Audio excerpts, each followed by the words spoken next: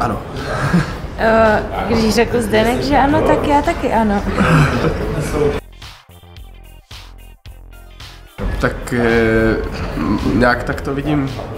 To přijde Romeo a Julie, tak si začne pomalu míst ty prstíky a potom se zeptá, jestli spolu chodíme.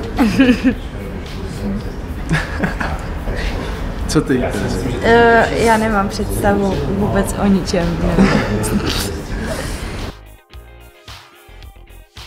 Jestli bych se mu líbila jako jeho Julie, kdyby mi hrála Romea.